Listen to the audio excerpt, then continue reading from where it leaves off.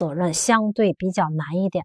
既然承担民事责任，所以大家一定要把承担民事责任的构成要件大概一定要清楚，好吗？这构成要件里主要表现在，首先在客观上，客观的表现上一定是真的实施了虚假陈述的行为，必须有实施了这种行为。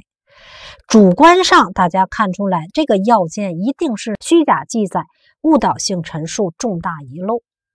必须有这样的行为，这是第二。然后两个因果关系最难的地方就是两个因果关系的界定。两个因果关系，一个呢是行为和行为之间的因果关系，是他这个实施的虚假陈述行为跟你投资者的交易行为之间必须有因果关系。第二个呢，是他的这种虚假的行为跟你投资者真正实际给你带来的损失之间必须有因果关系。这是承担民事责任的主要三大要件。好，把这三大要件好好吃透一点，好吗？而且尤其是在这些要件当中里面，一定要注意谁可以免责，没有过错。这个大家要把握好，所以在主观上一定要看好了，发行人和上市公司一定是无过错责任原则。你主观上没有故意和过失，你也得承担。但是呢，其他的一些人叫过错推定、举证，这个是我们的重点，好吗？哎，这就是主观上的表现。因果关系的界定，这俩是我们的分析题的重点啊。最后，民事诉讼这一块能看就看，不能看就算了。民事诉讼的方式呢，股民们单独上法院去诉也行，没有问题。第二个叫普通代表人的诉讼，适用于什么？原告一方的人数只要在十人以上的，他就可以代表诉讼。起诉书当中确定两到五名作为代表，代表全体股民来诉也可以的，看了吗？第三就是原告提交了行政处罚、刑事判决，被告自己自认的一些材料，这些证交所还有批准的这些其他交易所给予的纪律处分，还有其他的一些自律措施，这些都有初步的证据的情况下，都可以诉。你举证就举这些就可以了。好了，最关键就是这儿，就跟我们前面的连起来了。第一节的概述就是第一板块里面叫特别代表人诉讼，就是我们设的那个投资者保护机构，只要他受五十名以上投资者的委托，采用默示就算加入了，明示才算退出，来代表全体股民参加诉讼。这个在我们去年分析题已经考了，所以今年大家再看一看，好吗？这就是虚假陈述的诉讼方式，自己单独上法院告也行，推举代表来告也行，找投资者保护机构来诉也行，三种方式。诉讼的时效是今年教材新增的啊。首先，这个诉讼时效里，当事人主张以揭露日。或者是更正那一天开始起算诉讼时效的，人民法院支持。为什么？因为只有揭露了，投资者才知道哦，我的利益受损害了，不就是变相以知道或应当知道对方的行为侵害你利益开始算，对不对？好，当揭露日和更正日不一致的情况下，哪个在先就以哪个为准，属早原则。好，这是起算的时间，大家了简单了解一下。如果是其中的一人发生了诉讼时效中断事由的，其他连带责任人通通跟着中断，这没问题。这我们在讲诉讼时效时说了，在普通代表人诉讼中，没有向法院登记的这些股民们，诉讼时效就从你登记期间届满后重新开始计算。他不给你一个权利登记的期间吗？从那期间届满后重新开始算。啊，凡是向法院已经登记权利了，但是又撤回你权利了，我本来想告，我又不想告了，这时就从你撤回登记的次日重新开始计算诉讼时效。好，这些时效大家就了解一下就可以了。凡是保护机构作为代表人参加诉讼的，其中有投资者声明退出诉讼的，就从你声明退出的次日重新开始计算。好，这是关于诉讼时效的起算和中断问题啊，这个大家了解一下。好，到这儿为止，我们整个的虚假陈述的法律责任就讲完了。看完了吧？这个问题是稍微难一点的啊，所以关于有关虚假陈述，在虚假陈述当中里面，它的法律责任啊，前面的表现什么我们都说了，这个法律责任就是两大责任，一类叫行政责任啊，一类呢就是民事责任。这两个都有可能在我们的案例分析里考。这个行政责任的主要的表现方式就是罚款啊，责令改正啊，没收他的收入啊，这比较简单，主要是在罚款。而这个行政责任主要承担的主体是谁？一个是发行公司、发行人、上市公司。这是肯定作为承担责任的主体。除了这些人之外，大家还要着重的看一下谁呢？就是会计师事务所、中介服务机构应该承担的责任。大家主要把这两块该记的记住，剩下什么券商啊什么那些，我觉得就算了。咱们最后压就压在这两块上。好吗？哎，这两个一定要清楚。对于公司怎么罚，特别是对公司里的控股股东、实际控制人、个人应该怎么罚？直接责任人罚多少？行政责任啊，民事责任是我们刚才讲的比较多。民事责任里，如果在分析题考的大家就是几个关键的点。第一个，它的这个虚假陈述的实施日一定要清楚。一定在分析题里看出来是哪一天开始实施的，因为只有在实施日之后，投资者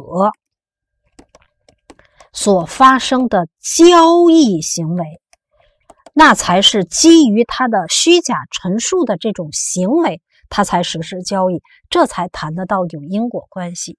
如果在虚假陈述实施日之前你就发生买进卖出，这根本就没有因果关系。所以最关键的第一个判断点是实施日之后，然后你再接着看投资者是否有买进卖出的行为，这个实施日一定要特别注意，好吗？这样的话，投资者基于这个相信是虚假陈述的行为，还是虚假陈述行为以外还有其他的一些个影响投资者决策的那些个信息，这个构不构成因果关系，一定得看好了。好吗？所以这是第一个要注意的。第二个呢，就是它的揭露日应该如何判断？这个大家一定要把握好了，好吗？把这两个时间一定要把握好了。这两个时间看完了之后呢，在这个时间段一定是在揭露日之前。知道吗？啊，这样投资者可能发生了一些交易行为，也可能出现了先什么先买进，然后再出现了卖出，或者是不卖出，或者是在这段时间之内先卖出了，然后又出现了买进，看见了吗？或者是不买进这种行为。由此给带来的第三个，大家要会算，给您带来的差额的损失。这个差额的损失如何计算？大家看好了，民事责任里的重点就在这些啊。至于剩下其他什么诉讼啊什么的那些，那就简单了。好，整个的证券欺诈难一点的就在虚假陈述行为，希望大家好好把握一下，好吗？第二个也是作为我们案例分析题的。第二点，我们也已经考过了，在前年，呃，CPA 的证券法里面就考过内幕交易行为。注意，从字面上可以看出，内幕内幕是尚未公开、未公开的这些信息，利用这些没有公开的信息，你买进卖出，从而非法牟利，违法，有违公平原则、公开原则。好吗？好，这里面第一个点需要大家知道，什么样的人属于内幕人员，就是他能够列入到知悉到未公开信息的这些人员，不用背，大家自然就知道了。发行人以及他的公司的董监高，公司自己本身肯定是知道的，还有董监高，你们的职务让你们了解到内幕信息。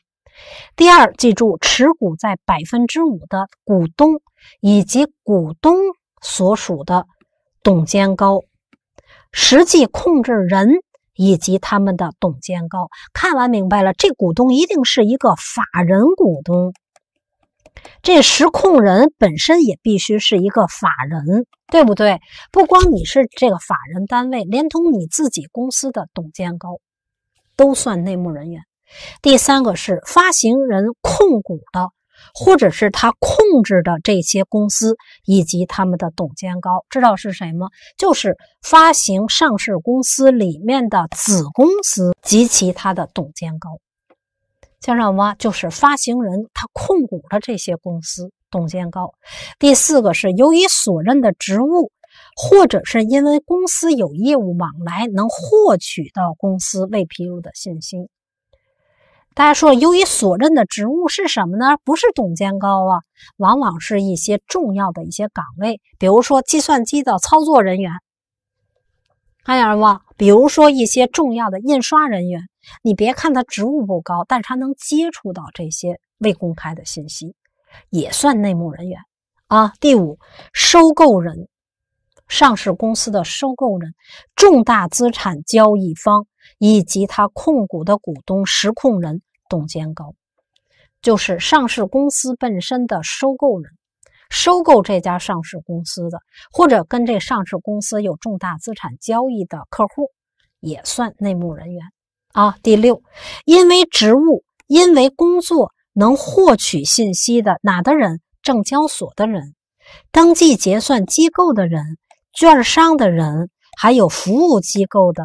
会计师事务所的人，他的工作之便让他能了解、获取到这个公司的内幕信息，也算内幕人员。好，这就是呢第六、第七，因为职责工作导致他获取内幕信息的证监会的监管人员，在证监会上班的人员，他们也会了解啊，因为法定职责对发行、对交易、对上市公司的收购。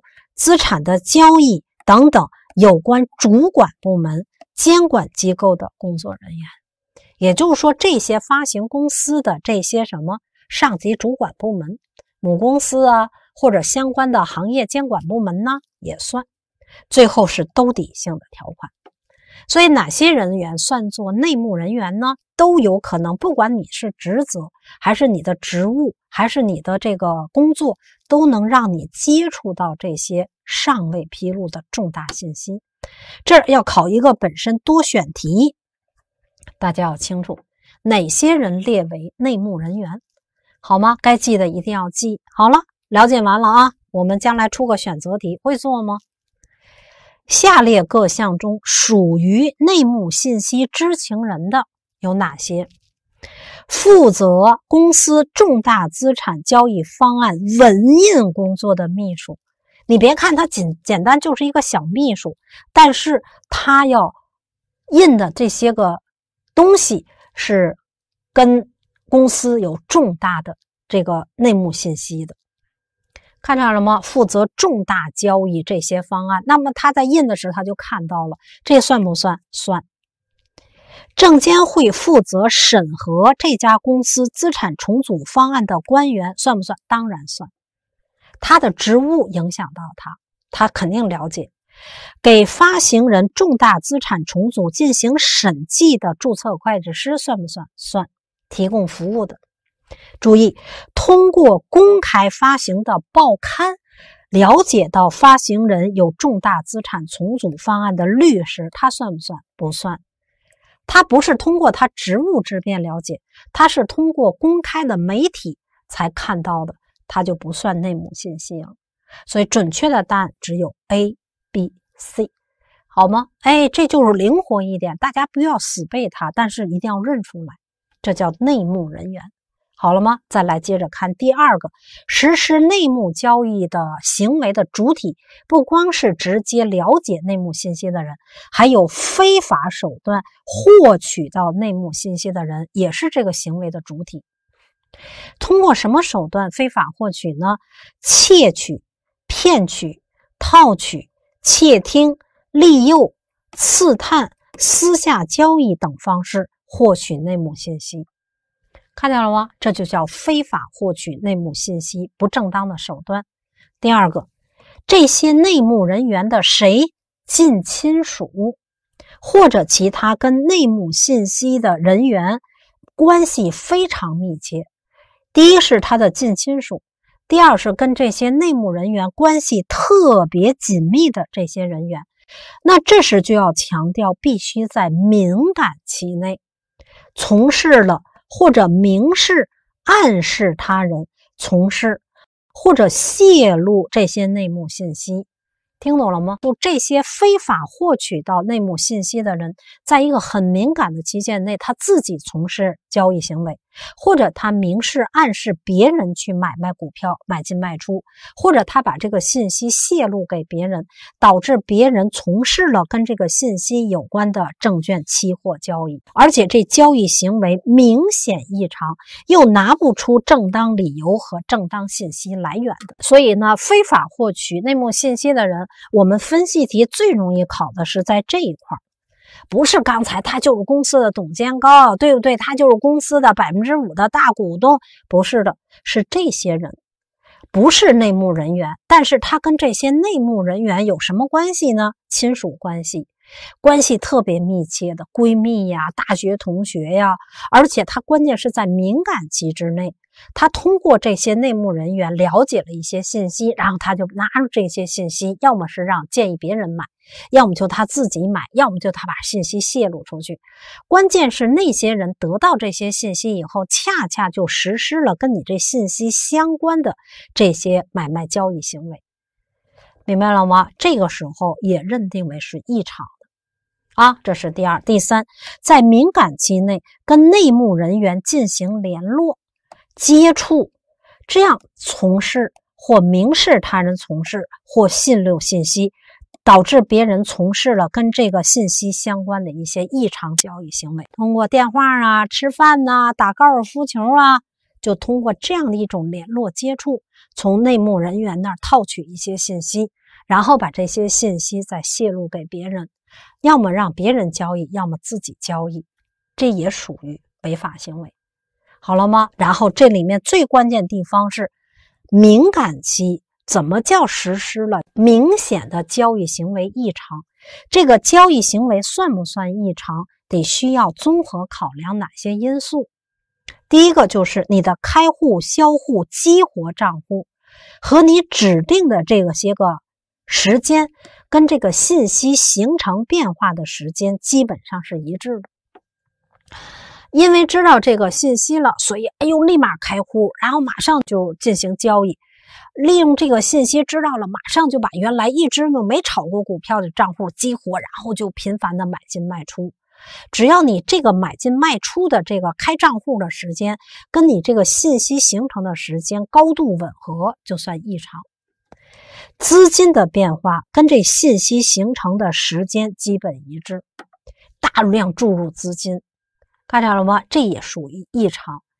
买入或卖出的跟你这信息有关的证券形成的时间基本上一致，恰恰是在这个信息还没有披露之前你就买进了，恰恰在这个信息一旦披露之后你就夸叽就卖出了，吻合。哎，这是一个第四，买入或卖出都跟信息有关的这些个证券的时间，跟你获取信息的时间基本上一致。啊，周二跟谁谁谁联系完了，或周四马上就体现出来你的这个买进卖出了，买入卖出的证券的行为明显跟平时的交易习惯不太完全一样。就你平时一般来讲呀，就买进也就买个什么，买个几手啊，买个一万呢，买个一千股啊，也就完了，好嘛。这次明显一看，好家伙，买二十万股进来了，明显跟平时交易不太一样啊，还有买入卖出的这个行为，或者集中持有的这个行为，跟信息反映的这个信息明显是背离的，明显是不符合常情的规矩的。好，这就是呢第六、第七账户的交易的进出跟内幕人员有关联关系或者利害关系，就你在券商里面开的股票的账户的进出跟内幕人员。是有一定瓜葛的，啊，最后是其他的，所以这个交易行为的异常呢是比较难判断的，它没有一个具体的标准。我们证监会在审查这些的时候，一定综合考虑，他要看你买进卖出股票的时间，要跟你这个内幕信息在没有披露之前，然后这两者之间是否有一定的关联性，所以它主观性的因素比较强一些。好吗？好，这些大家看看就可以了。这就是第一个。所以通过第一个问题和第二问题，一定要清楚实施这种内幕交易行为的内幕交易行为，它的主体看完了，应该得知道是两类主体，一类就是直接能够接触到内幕信息的这些内幕人员，属于主体。第二个是不是直接是公司的内幕人员，是利用非法手段非法获取内幕信息的这些人员，都构成这个行为的主体，好吗？好，这是第一个。紧接着，这些主体利用的一定是什么未公开的信息。哪些信息叫未公开？不是说啊，只要没公开就叫内幕信息，不是的。这个内幕信息的前提一定记住，一定是对公司证券市场的交易价格能产生重大影响的尚未公开的信息。所以，它最关键的落脚点一定是对它的股票价格能产生重大影响。那就是说，很可能这信息一旦披露出来之后，也可能猛涨，也可能是猛降，足以能影响它股票价格的，这才构成叫内幕信息，好吗？这是第一个啊。第二是应该予以临时报告的重大事件。所以我们说了，你前面那个十二个重大事件，在临时报告里，在那儿记，在这就不用记了。那儿没记，你怎么也得记这块儿。好吗？好，这些重大事件都会足以影响你公司股票价格的，一定把握好了。好，这就是第二个内幕人员、内幕行为的主体。下一步利用的一定是这些尚未披露的、足以对你公司股票产生重要影响的内幕信息。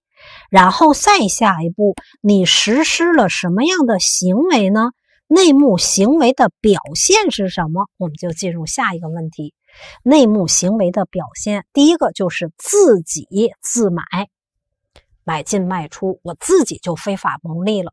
只要在这个敏感期内自行买卖跟信息直接相关的公司的股票买跑，这就绝对叫内幕交易行为。第二个，自己没买，是建议别人来买。是在信息的敏感期之内建议他人买卖跟内幕信息有关的，看好了吗？这就包括不光是内幕人员，也包括什么呢？内幕信息非法获取信息的这些人员啊，他自己不敢买，买了他太敏感了，他会建议别人去买去，好吗？他会。故意的把这信息透露给别人，让别人去买。这个建议买卖要符合的条件是什么？第一，建议人是内幕信息的人，或者是非法获取的人，这就是他的主体，必须是指这两类人。第二个，推荐、劝说、怂恿他人买卖证券，这是建议的表现，这是主体。建议人的主体必须是什么人？第二个建议的主要表现就是推荐给啊，那那个我告诉你啊，那个你你就买哪个哪个公司的证券吧，保证你挣钱啊。还有被建议人，他已经知道建议人掌握内幕信息，你跟他吃饭，你跟他约他出来，你不就为了套他信息吗？你知道他会了解这些信息，然后你才能够买卖的，这叫。建议行为直接就导致还就真的实施了买进卖出行为，这就叫建议。好了吗？好，这就是呢第二啊，第三泄露内幕信息。第二是建议别人买，这种建议表现为什么？要清楚，泄露信息是在信息的敏感期内把这信息透露给别人，不管你在泄露时候的主观状态，哎呀，可能无意当中我们就说出来，还是说呃故意的啊，这个要不管。所以，他要符合的条件是什么呢？有泄露行为，包括非法获取信息的人再次进行信息传递，除非你是因为履行义务职责，那是例外，否则你就明显有泄露这种行为，好吗？第二个，信息的接收者他已经知道他接受的信息是一个没公开的信息。传递的次数和层级不影响内幕交易的构成，知道吗？所以那个接受信息的人，他明明就知道这个信息肯定是外人不知道的啊，这要注意。但是如果接受者仅仅只是单纯接受信息，既没有再次泄露，也没有自己买，也没有建议他人买的，不构成内幕交易行为，这就不属于了。知道吧？他一定要看最终的结果，你有没有买卖证券的行为？好了，这就是内幕交易行为。所以，这个内幕交易行为里面主要注意的这个行为的主体是谁？就承担责任的主体是谁？两类人，直接是内幕人员，一个就是非法获取信息的人员。那么，它的主要的利用的是哪些信息？足以对你公司股票的价格能产生重大影响的信息？第三个就是它的表现是什么？自己买，建议别人买，泄露该信息。好了，最后责任应该怎么推定？只要能提供证据证明有下列情形的，他就确认为内幕交易行为成立了。第一，内幕人员自己进行了跟信息有关的证券交易，自己自行买卖。内幕人员的谁？配偶、父母、子女以及跟他有密切关系的这些人，在敏感期内实施了跟信息基本吻合的证券交易，看场了吗？第二、第三，因为履行职责知悉到这些信息，并且还进行了跟该信息有关的，这不就说的是证监会、证交所的相关工作人员吗？第四，非法获取了信息，获取完了，进行了与该信息有关的交易，对吧？第五，在公开之前，跟内幕人员或者知晓内幕信息的人通过联络、接触、了解之后，进行了跟内幕信息高度吻合的证券交易行为。好了吗？好了，最后提示啊，当事人如果想否认，哎，我这不是内幕交易啊，我不是利用他给我这些信息，我自己有判断，那您必须自己得有举证责任，得证明您在敏感期内从事的买卖行为，你得做出合理的说明。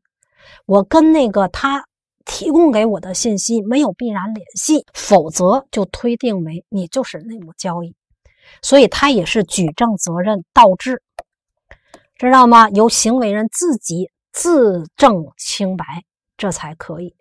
好，这个是需要注意的啊。相反，哪些情况下它就不属于内幕交易行为？第一个是因为持股在百分之五以上的股东，他为了收购这家上市公司，这个不属于内幕交易，因为他得要买卖，频繁的收购，按照事先俩人约定的合同。从事证券期货交易，这是事先约定好的。第三是已经被他人披露的信息在交易，那不构成内幕信息了，已经是公开的了，好吗？好了，第四，具有其他的正当的信息来源、正当理由的，不属于内幕交易。好，这就是第六个，哪些构成内幕交易？内幕交易行为的推定很重要，好吗？判定他的行为是否构成异常是最难的地方啊，这个要清楚。第七呢是短线交易，这也是我们每年分析题重点考核大家的。其实呢，原来在公司法里面也讲过，上市公司还有股票能够在国务院批准的证券交易所交易的这些公司，他们的董监高，记住了啊，这个短线交易行为的主体是董监高，还有持股在百分之五的大股东，这是他们的主体。将他们持有的该公司的股票在买入后的六个月内卖出，或者卖出后的六个月内又买入的，由此所得的收益归公司所有，董事会必须收回。这我们在前面讲公司法的时候，这就叫非正常收入，公司必须没收。所以，这种短线交易行为主要防范的是董监高和大股东，因为他们算内幕人员，他们可能利用职务之便，怎么样频繁的买进卖出，知道吗？所以，他买进卖出中间间隔的时间只要短于六个月，这属于非正常交易，可以买进卖出啊，但是所获得的收益不能归你董监高，董事会必须没收。那不就归公司所有吗？如果董事会不履行职责，不把它没收上来，在公司法里讲，就会引发股东代表诉讼嘛。讲的就是这个啊。所以将来考试时，这些个人，董监高和大股东，假设二月份买进了，结果你六月份就卖出了，从而获得了差价利益的，这是不正常的。但如果你二月份是买进的，结果你十月份你才卖出，这个由此获得差异正常吗？这就是正常的，没问题。买和卖出的间隔时间一定在六月以上，你超过六月就是正常的，没超过六个月就是异常行为，好吗？啊，这个六个月买进卖出一定要看好，好把这一块把握好。例外就是券商，因为他要替。上市公司来包销证券，清楚了吗？好了，这是一个注意啊。买入后的六个月内卖出，这个说的是买入的那个时间，以哪个计算？是以最后一笔买入的那个时点开始算六个月。啊，我啊四月二号买一笔，四月四号又买一笔，然后四月八号又买一笔。要以最后那一笔时间点开始计算，算六个月时间有没有过？卖出后的六个月内又买入，那个卖出的时点也是以最后一笔卖出时点。好，这两个看完大家明白，都是以最后的那一手那一笔的时间为准开始计算六个月。好了，这点大家知道就可以。看完了吧？举个例子。好好了解，这公司里董事甲，他分别在三月一号、三月十号分别买入了本公司股票一万股和两万股。三月一号、三月十号，九月四号他就全部卖出了。卖出的时间是九月四号，看好了啊。那他三月一号买入的。那么九月四号卖出的，那就超过六个月了，它就不构成短线交易。可是他三月十号买入的，九月四号卖出这两万股，它是没超过六个月的，这个构成没构成？构成短线交易。OK，清楚吗？你不能都从第一笔开始来计算，这是不可以的。卖出也是以最后一笔交易卖出的时间点来计算。买入的一定要看好，好吗？好，这就是呢。举这例子，大家听懂。再看第二，董事会不按照规定把这个收益收回来的情况下，股东有权要求他三十天执行。董事会没有在这三十天之内把收益没收上来的，股东为了公司的利益，就可以用自己的名义直接上法院起诉。这不就结合公司法来考了吗？这不就结合公司法里考的是股东什么代表诉讼啊？这不就连起来了吗？这个时候我就要开始结合公司法问大家：这里面说的股东，尤其是在股份公司，什么样的股东？一定记住：一、连续一百八；二、持股必须在百分之几一这样的股东。才能够代表公司提起诉讼，这就结合公司法来考。那么除了这样的股东之外，再加第二个考的就是谁？就是投资者的保护机构。明白吗？他只要受五十名投资者的委托，他不需要持股百分之一，他也不需要连续一百八，他就可以代表股东提起诉讼，这不就行了吗？好了，这就是结合公司法里考的地方。OK，大家能够清楚。好，这就是叫短线交易行为。这个如果在我们分析题考是相对比较简单的，不就买进卖出吗？你就来算，六月之内就违法，过了六个月它就是合法的。好了啊，好，这就是整个的内幕交易行为。这个内幕交易主要利用的是没公开的信息，但是反过来利用了未公开的信息实施的交易，就一定叫内幕交易行为吗？也不一定，因为这里面的内幕交易行为的主体一定是谁呢？是有特指的。就是指那些内幕的这些人员，知道吗？所以他们这些人利用了尚未公开的信息，公司里的董监高啊，还有呢，公司控股的这些子公司的董监高啊，百分之五的这些大股东以及他们的董监高啊，就这些人员。那么最后还有一个行为叫，也是利用未公开的信息实施了交易，但他把它叫老鼠仓的行为。就我们凡是要炒股的人，恐怕都知道这个名词，绝对是一个证券的一个术语。没学过的学员就不知道什么叫老鼠仓的行为。先知道它也是利用什么未公开的信息。你看老鼠仓，老鼠都在下面地下呀、地洞里面来实施啊打仓啊、打洞行为啊。为什么？它的主体看好了，主要是证交所的、证券公司的、登记结算机构的。这些服务机构的，还有金融机构的这些人员，还有监管部门、行业协会的这些人，注意，他利用的是什么信息呢？是我们刚刚说的内幕信息以外的，也是尚未公开的，就没列入我们刚才说的那些内幕信息，就是那些公司发生的重大事件，属于公司内部发生的一些信息，不是的。他是利用内幕信息以外的，也是没公开的，但是他们的那个职责本身让他们接触到这些，这样违反规定从事了相关的证券交易活动，或者明示暗示他人从事的，这就构成叫老鼠仓行为。好，先把定义看懂了，它利一定利用的是内幕信息以外的其他信息。那么具体的，大家看它跟内幕交易行为的区别在哪？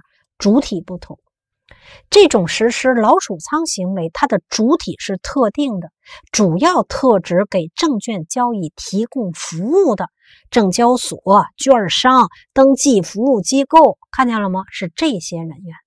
而我们的内幕交易行为，大家看，主体非常广泛，主体非常非常广，不是特指了，只要你处在内幕信息知情人的位置上。只要你的交易行为明显跟这个信息发生了有关联、高度吻合，这种情况都认定为你是内幕交易行为。所以呢，大家看出来主体的范围，内幕交易行为的主体太广了。除了直接了解内幕信息的人、非法获取内幕信息的人之外，所有那些利用这些。内幕交易行为实施了异常交易行为的人，都会被认定为内幕交易行为的主体。但是老鼠仓的行为仅限于这些个服务机构。第一个了啊，第二，利用的信息不一样。老鼠仓的行为主要利用是内幕信息以外的其他的一些未公开的信息，比如说掌握国家一些什么政策呀，国家最近会要出什么什么文啊。这些他们利用是这些，而内幕交易行为利用的绝对是属于内幕信息行为，不是内幕信息以外的，都是未公开，但是不一样，好吗？这是呢整个的内幕交易行为完成了，所以我们在内幕交易的这个行为，因为也容易考在案例分析题当中，在案例分析中，我们就简单的把问题简单化。复杂问题简单化。第一点，大家在分析题当中，首先得认定得认定到底属于不属于内幕交易行为的主体。实施这种内幕交易行为的主体，第一点，它到底是属于直接了解内幕信息的人员，还是他是用非法手段获取到内幕信息的这些人员？往往内幕人员，我们的分析题主要考的就是他属于百分之五公司的大股东，要么就是他公司的担任董监高。你看我们的分析题简单化，他就直接拿这做例子，然后再来讲谁是属于非法获取呢？就是这些个他们这些人的配偶、父母、子女关系非常密切的，比如大学同学，这个是他的案例分析题的点，你能认出来？好吗？这就复杂问题简单化了。你案例一编故事就是编这些人。这是一个公司的董事，然后刚刚呢公公司内部通过了一个董事会的决议，准备近期增发新股，股价准备是大约多少？结果这董事回家就跟自己的配偶说了，看出来了吗？这就是非法获取内幕信息的人员。把主体先认定好，先认出来了啊！认定完了，第二块咱们马上就应该知道，利用的是哪些内幕信息。这个信息编故事的时候，就是编这些足以对公司股票的价格产生重大影响的信息。大家把这个信息里重大事件都是哪些？重大投资了。重大担保啦，签订重要合同啦，人事发生变化啊，这些信息编故事会给你编，到时大家认出来就行，好吗？尚未披露的信息，这些信息明显暗示会给公司的股票价格肯定会产生影响的，这是第二。然后第三个一定要看分析题里考你的行为表现，这个表现无非是考两个。第一个考的是谁？就是内幕人员，直接了解信息的内幕人员自己直接买卖，跟这信息有关的证券交易有这样的交易行为，要么就是这些内幕人员的谁呢？非法获取这些信息的这些个人员，他们就出现了，要么是建议他人买。看着吗？要么是又把这个信息泄露出去，所以这个学问就是在这儿了。就这些非法获取内幕信息的这些人，他从事的一定是跟他所知道的这些信息具有高度的吻合的，实施了叫异常的交易行为。这个呢，我们在编故事是会给你把这异常交易的这些行为表现会编成，比如说他突然之间就激活了他账户上的资金，大批的买进，要么他就暗示你他这个交易跟他平常的交易习惯不一样，这样他实施了叫异常的交易行为，从而获得了收益，好吗？所以内幕交易行为里面，其实它突出的地方就是考这三个点。第一步，先认出来它属于不属于内幕交易行为的主体，然后知道的是利用的哪些信息，通过这些信息，它主要实施了什么样的证券交易行为，让大家能够三点把握好就行了。好了，这就是第二个，希望大家把握好啊。至于第三个，操纵市场的行为，基本上我们是作为选择题，嗯，这个考分析题的概率不高。啊，操纵市场的主要表现是什么？往往这个实施的主体是谁？就是我们的投资者，证券市场的投资者。这些投资者，不管是一个机构投资者，还是一个纯自然人个人投资者，这些人往往利用了自己的资金优势，要么是自己拥有持股优势。看见了吗？要么就是利用自己有信息上的优势，要么自买自卖，要么就是跟别人串通起来来买卖，这就叫操纵市场。大方向记住了，这个行为的主体主要针对的就是投资者了。我们那个证券欺诈、虚假陈述行为，大家发现主体主要针对的是发行人上市公司。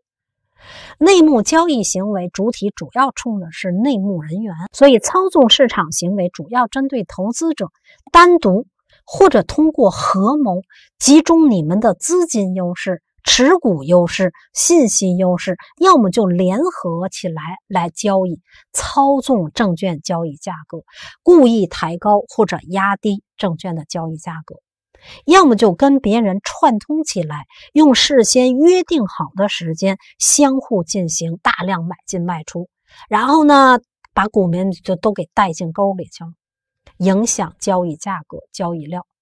第三，在自己控制的账户之间自买自卖，来操纵这个证券交易价格，不以成交为目的，频繁或大量的申报，然后撤销申报，就是虚制造一个虚假的成交量，利用虚假不确定的信息诱导投资者进行交易，对证券发行人公开做出评价预测，并且进行反向的证券交易。所以炒股人都知道，你可千万别听有一些什么专家什么评论，他评完了你就得反向操作。他要说：“哎呀，应该是买进了，你就卖出是最好的。”明白吗？他诱导，最后利用其他的一些个相关市场来操纵证券市场。所以大家把操纵市场的表现，大家就做一道多选题，选选就可以了，好吗？这里面有几点提示：如果只有第一项行为时，就是利用这个呃资金优势、持股优势的，这是一定要注意他的主观意图和他的客观行为。按正常情况，人家是大股东，人想买就买，想卖就卖呀，对不对？但是你能当然就认定为你这就叫操纵市场吗？人说我正常啊，我有这优势，我想买就买呀，这是一定注意他买进卖出的主观意图。知道吗？这要综合起来看，主观方面要看他的交易动机，而且交易前后的状况、交易的形态导致市场的占有率，违反不违反投资的效率回报。客观方面呢，要看它是否是市场价格的主导者，是否是证券市场的支配者，以及它如果停止买卖，会不会导致证券价格暴跌。就跟我们讲那个后面反垄断法一样，构成不构成滥用市场支配地位行为，前提得看你构成没构成市场支配地位。所以这种操纵市场的前提是不是一般的股民你就能够实施操纵的？一定是你在这证券市场中占有一定支配地位，你的行为可能直接会引导证券交易的价格发生很大的变化，那才行。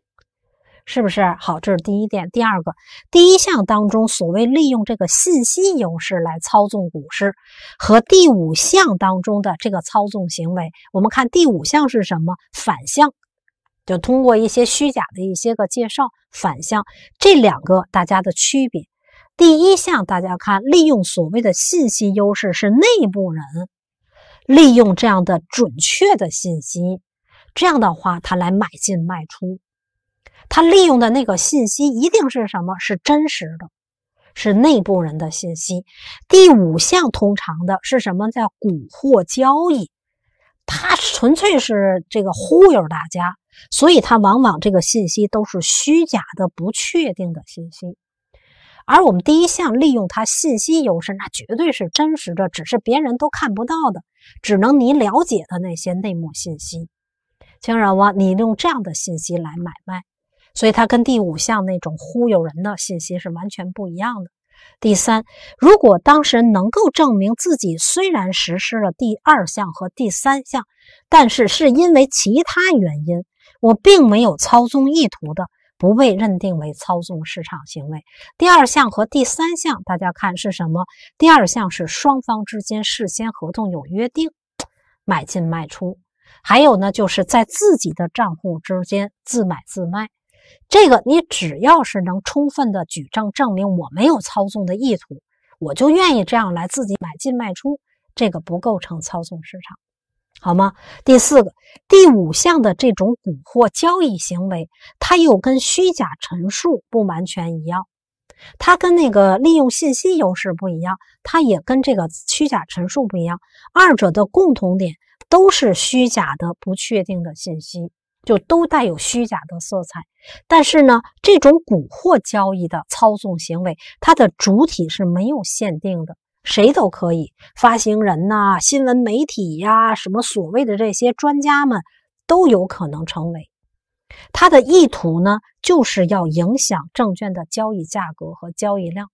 虚假陈述的行为人，大家看，我们明确说了，是负有积极的信息披露的这些发行公司、上市公司，明白吗？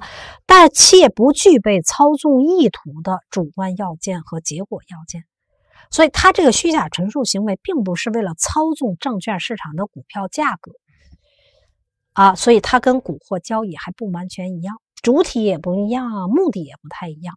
好，这些大家看懂了、理解就行了。接着，第五项的这种蛊惑交易的这种操作，跟编造、传播虚假信息的区别在于主观的目的和表现不同。